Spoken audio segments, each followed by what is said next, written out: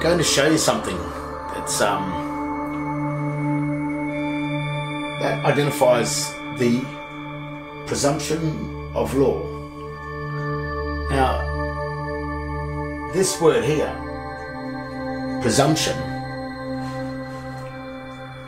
is something that is assumed or something that exists until a fact is sort of known. So when they call it, and you'll hear this a lot, um, lawyers and in the courts, it's a it's a presumption of law. But um, I'm going to explain to you today where that comes from, because if I were to ask you, well, tell me where the presumption is. What's the difference between the presumption and the fact? Well, uh, not many people probably think about that. Well, I'll, I'll show it to you.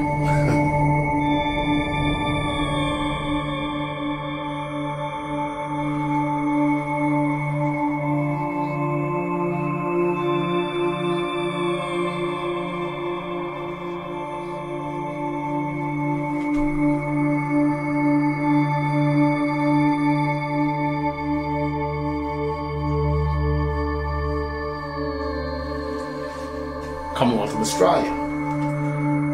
If I were to ask you, how would you read that? What would you read? Commonwealth of Australia. Or is that presumption? Does that Commonwealth of Australia really read Commonwealth of Australia? Is that a fact or is it presumption? Well, I'll translate this all uppercase symbolic text, which is a Latin based text, uh, into English. And we'll see how it comes up.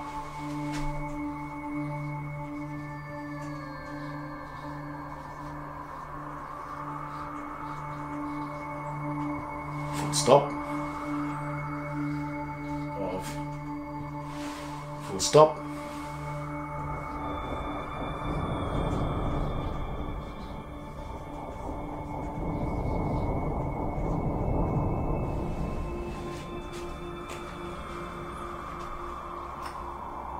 If this is a form of sign language or Egyptian hieroglyphic text or a Latin based text that is um, that operates under the grammatical rules or the Latin grammatical rules.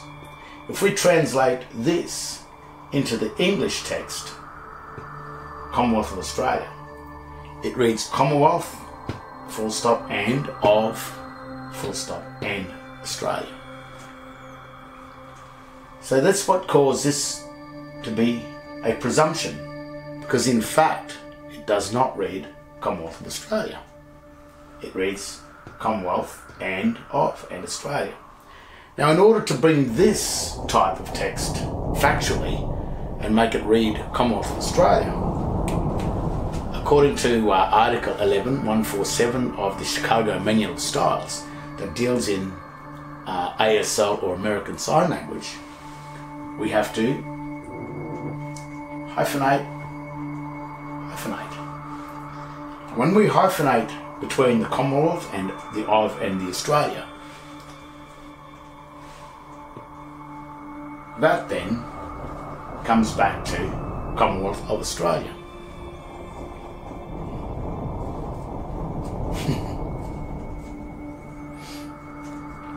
Can you see what's going on? This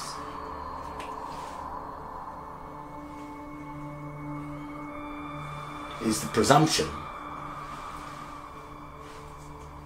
that creates the English to look like that, which does not read Commonwealth of Australia. And then if we want to translate this or create in sign language uh, Commonwealth of Australia or to write Australia, we have to hyphenate that. Like I say. And what it says is um, in order to join three words in sign language together to make to, create a sentence in sign, which is the sign language. And remember, you have to sign a document, enter into sign. Um, you must hyphenate between the three signs or between two or more signs uh, in order to string a sentence together in sign. And of course, um, that's not what's happening. So when you see your name, um,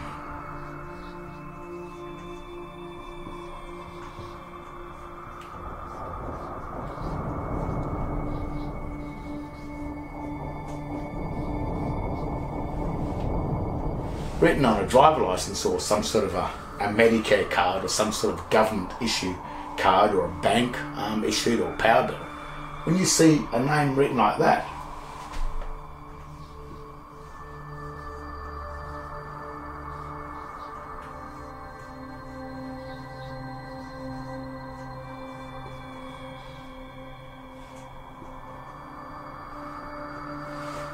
translates into not your name.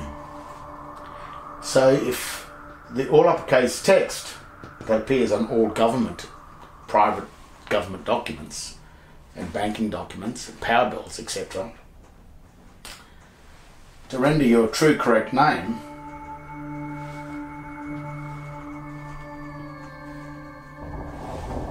you need to hyphenate it. Now, of course, um, if, even if you think your name is John Paul Smith, you will probably notice also on your birth certificate a name looking like this.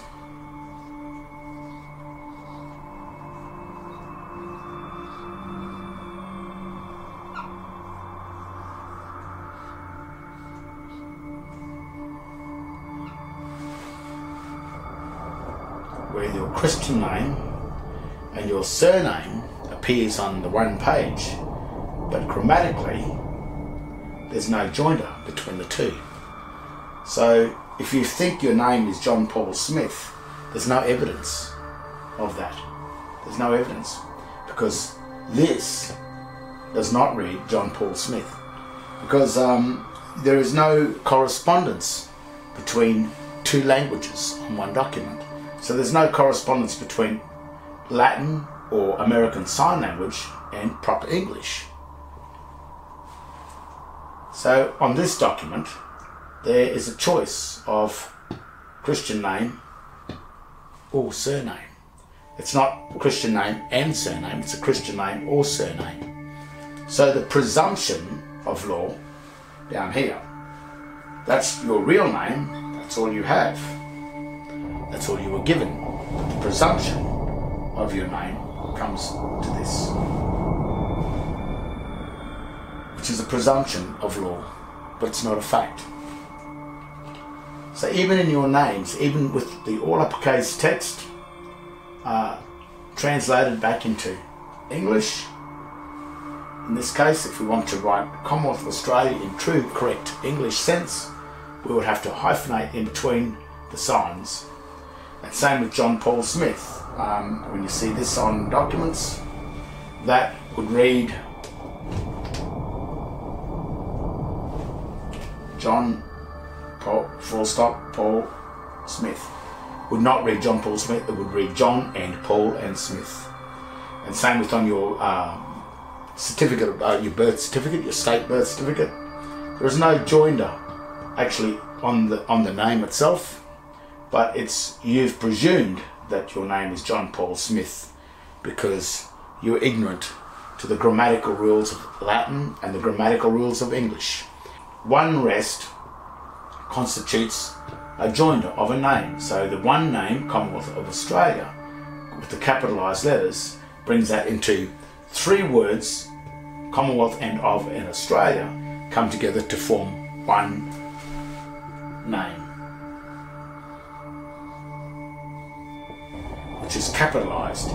This is not capitalised, that's symbolised. This is uh, that's capitalized. So it's just a grammatical, just gramma- grammatical knowledge, or the not the knowledge of the grammar, the grammatical rules between American Sign Language or Latin, because American Sign Language, which is the all uppercase text, operates under the grammatical rules of Latin, and English operates under the grammatical rules of English. So one rest in English constitutes a joinder. To break these into two to three separate words, you need one rest and a full stop, or two rests will do the same thing. It's another thing they use on, and whereas in um, um, Latin, one rest constitutes a break. So that's why in Latin they've got to put a mark. If you look at ancient Latin on the net, or uh, put put in Google ancient Latin, you'll find that it has a small triangle mark or some sort of a mark in between the signs that creates the um, the joinder between the, the three uh, uh, signs. And um, the Vatican, its official language is ancient Latin. Uh, the official language of man is the Queen's proper English. This, um, without the marks, is legally known as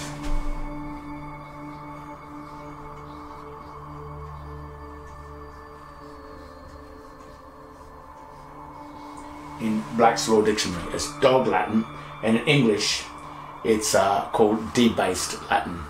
The word debased means criminal and immoral, whereas uh, dog Latin is uh, the Latin for the illiterate because it's Latin operating under the grammatical rules of English, which is impossible. But it does create the presumption of law, not the fact. not the fact.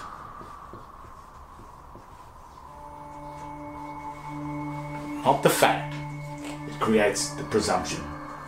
So when you see this type of all uppercase text without the hyphens in between it, you're looking at a debased, a dog Latin text legally, or a debased um, text uh, under the Webster's English Dictionary, which is really a, a, a crime, criminal and immoral.